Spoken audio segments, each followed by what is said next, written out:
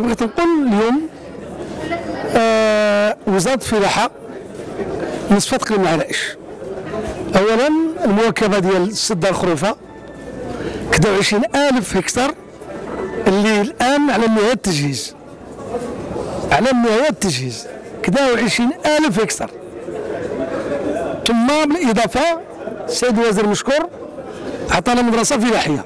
الآن هي على واحد آه، 11 كيلومتر.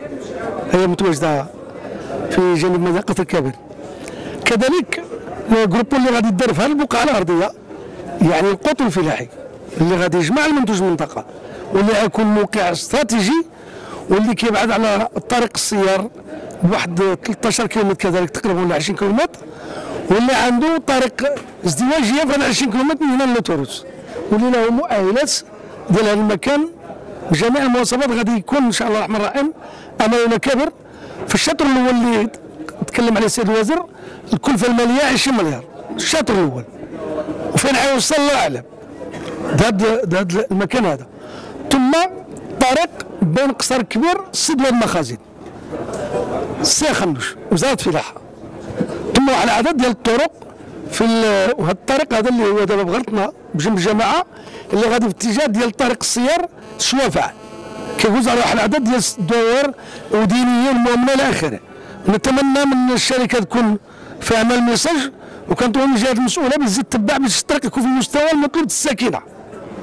ثم واحد العدد ديال الطرق في إطار صندوق التنميه القرويه إذا قلنا على إيش محطوط والحمد لله الفلاحه ديالنا حتى هو في المستوى المطلوب.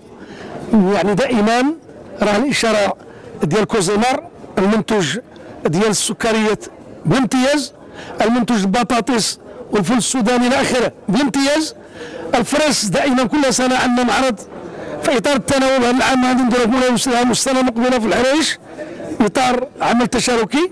السيد الوزير باش شفنا كبرلمانيين وقع بيناتنا واحد شوية ديال هذا. دخل بيناتنا وعمل لأن هذا المحيط عندنا مشترك مع قنيطرة.